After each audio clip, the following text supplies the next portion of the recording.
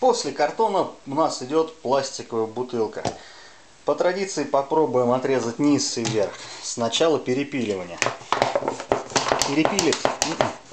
Не хочет. Ну ладно, проткнем и попробуем прорезать.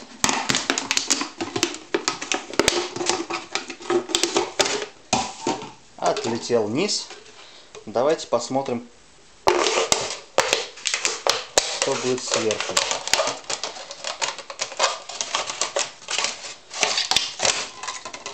Вверх хоть и криво моими руками, но отрезался.